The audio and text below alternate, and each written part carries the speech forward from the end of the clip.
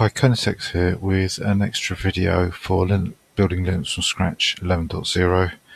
Um, it's all to do with something I've uh, seen before and I keep forgetting to mention um, after Linux from scratch has been built. Um, indeed, if it's not specifically to do with Linux from scratch, but as if you build a kernel using the default options, um, it seems to select uh, it seems to be quite conservative and select um, a frequency um, profile for the CPU that means that the CPU is running at quite a slow speed.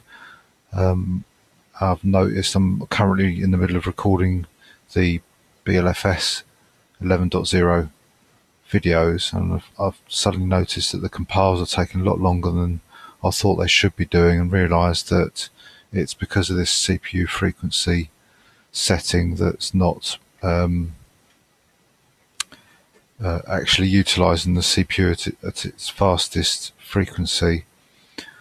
Um, so if you're wondering why you can see the um, these boot scripts that have started and you think, well, they're not part of Linux from scratch 11.0, that's that's why it's like I say, it's because I'm halfway through recording Beyond Linux from Scratch. I thought I'd um, get this video out onto the Linux from Scratch 11.0 videos that I've done to um, help alleviate any issues that you may have think with yourself thinking like, well, Linux from Scratch seems to be a lot slower. Uh, as I say, it's not actually Linux from Scratch. It's it's um, it appears to be kernel the the kernel in fact, if anything, Linux from scratch should be faster than any bog standard distributions because it would have been compiled specifically for your uh, CPU um, if you use the default compile options um, or if you um, use the native at least, it would have um, compiled code specifically for your CPU. So in theory, it should be a little bit faster. So um, what I'll do is I'll show you the issue first of all. So if I log in as root, um, now uh, just using the machine at the terminal, you don't notice the difference because the slow speed is fast enough for doing um, every everyday stuff. Uh, but I can show you if I can remember how to run OpenSSL has got a test mode um, where it'll run uh, okay it's just help where you can get it to run some uh, procedures um, and get some timing results and I can demonstrate the how how much slower it is uh, without the uh, tweaking that's needed. Um, right I can't remember the open man open SSL uh, maybe I should have prepared this before I start the video but not to worry. Um, speed yeah that's it. It's open open SSL speed. Right now by default this um, goes through every single method that OpenSSL knows about. Let's do a reset, get that top rid of that top line. It's the uh, icons from the boot up that does that. Um, so if I do open SSL help again. Um, as I remember, you do speed and then one of the digest commands, for example, let's do um, SHA-512. Oops. And I think one of these cipher commands, let's try des cbc. cbc.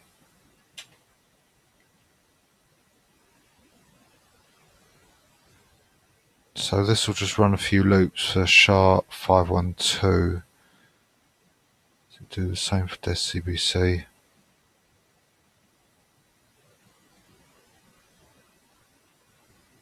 Yeah, it does. Okay, so maybe just SHA-512 would be enough. But if you can see at the moment, um, for 16 and 64 size blocks, it's doing um, about 2.2 million computations. And oh, there's a summary there actually. Um, right, these are thousands of bytes per second process. Let's go by this summary. And we'll just concentrate on the SHA-512. So the biggest block, it's doing uh, 147 million bytes by the looks of it. And for the 16 bytes, it's doing 11 million um, bytes. Now, if I show you, if I go to another terminal actually, and log in, so we keep those numbers on the screen, uh, what I'll do is I'll show you the issue now.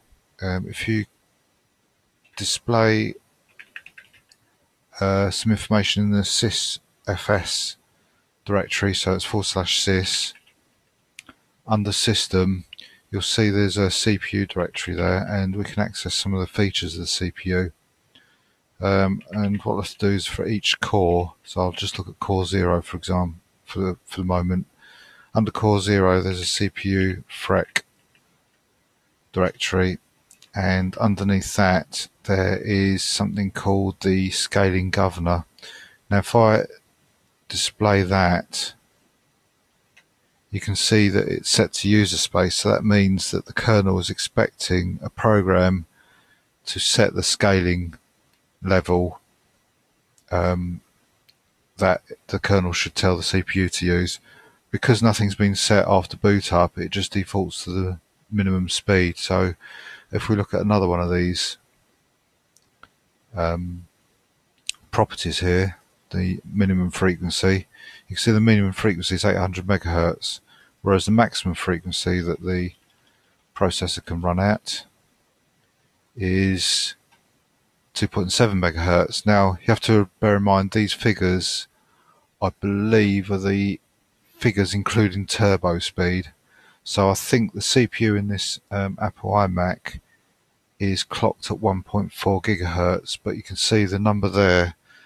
That number is 2.7 gigahertz, and that is the maximum turbo speed. So that's the highest speed that the CPU can attain when it's in turbo. Um, so now we know the minimum max, let's find out actually what the CPU is running at. And if we recall this cat and put this scaling current frequency value in, you can see it's running a little bit over the minimum. It'll be a little bit over because obviously it's processing the command we've just done, or it might be processing something in the background. So each time I call this command up, it's going to alter a bit. In fact, it's gone a little bit below 800 there for some reason. That might just be some rounding error.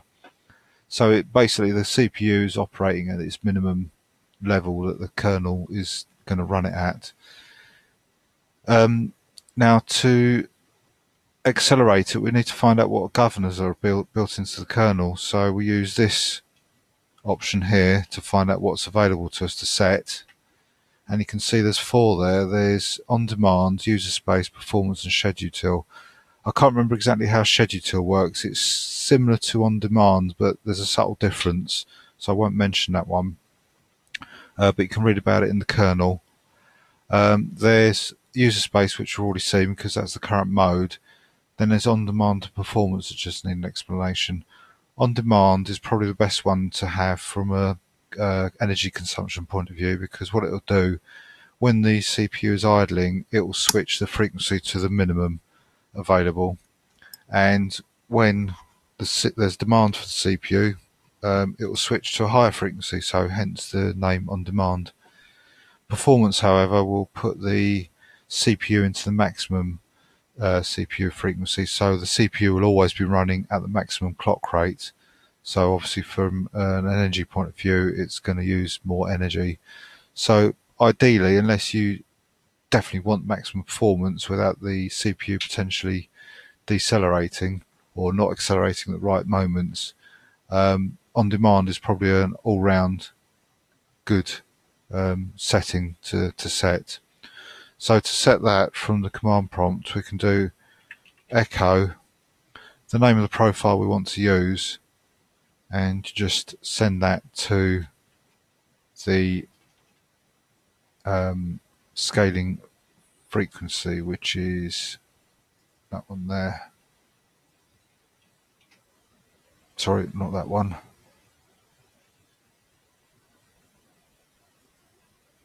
Uh, where is it? Current. One there. Scaling governor. Beg pardon. So we're telling it, we're telling the kernel that to set the scaling governor to on demand. And that's done. Now, so if I look at that option, you can see it's set to on demand, but that's only on that core. So if I look at core one, you can see it's still in set to user space. Same as core two and also of course core 3 so I need to set it for each individual core. Um, probably the best way to do that is if I recall this command here um, is to do a little for loop. So for um, for example in 1 2 3 4 sorry 0 1 2 3 so each of the cores that I want to set do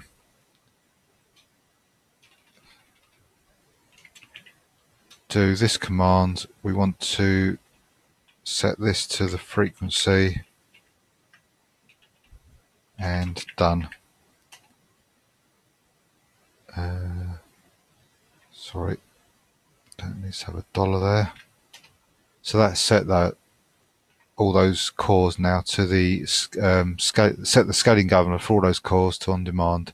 So if I now do an echo uh, sorry, a cat of all, all the cores. You can see they're now all on demand.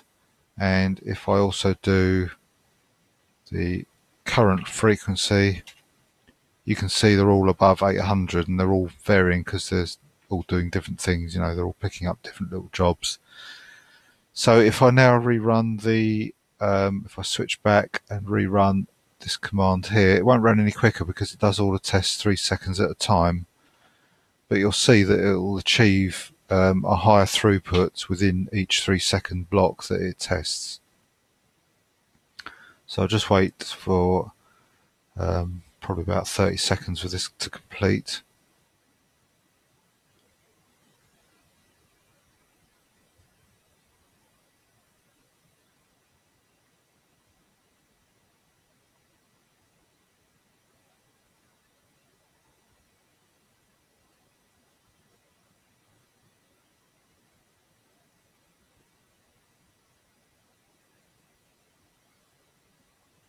Okay, so there's the results. Now if I switch back to the first terminal and we look at the 16 bytes, for example, uh, again, just concentrate on SHA-512. You can look at the other numbers if you want, but this is the one I'll be looking at. That's currently set to 11 million.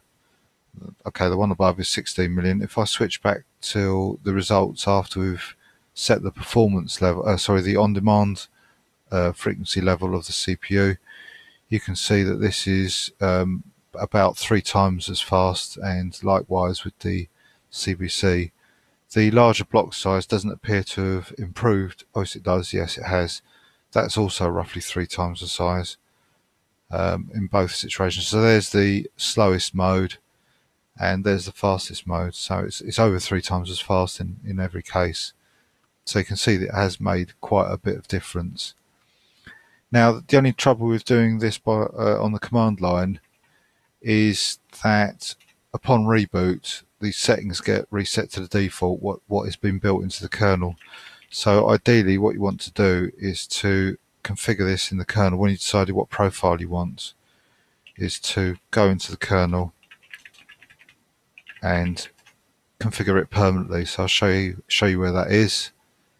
It's in, if I can remember, um, let's look for cpufreq, save me hunting around.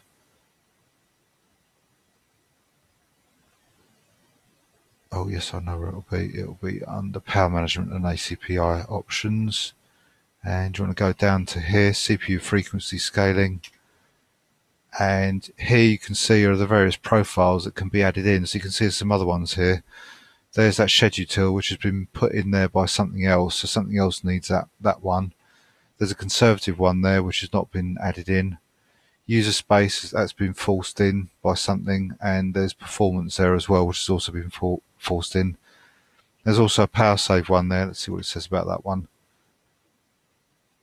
So that just sets it to the low, lowest available frequency. If in doubt, say yes. Well, I would just add in the ones you think you really need.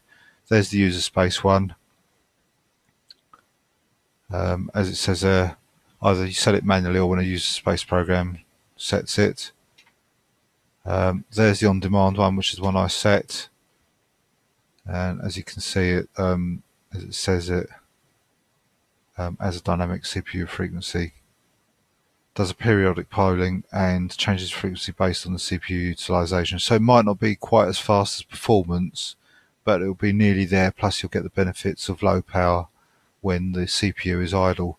Which, for example, if um, you happen to have a, um, a, program running that's only using one thread, you've got three cores that are doing nothing. So why have them running at full clock when they can be cycled back down to the minimum clock rate while the, the single thread is running on the maximum clock rate? So there's still savings to be had even when the computer is doing something.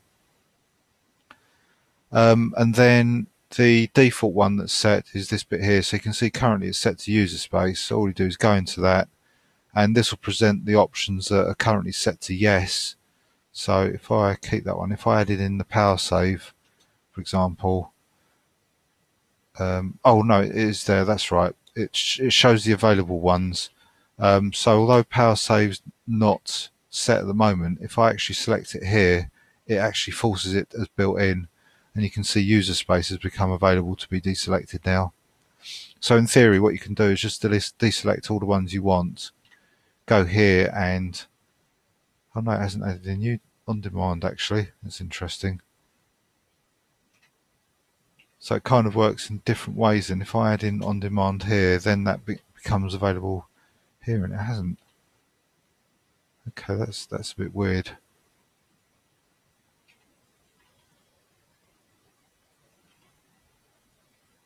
Um, I'm not sure why on demand hasn't been added actually.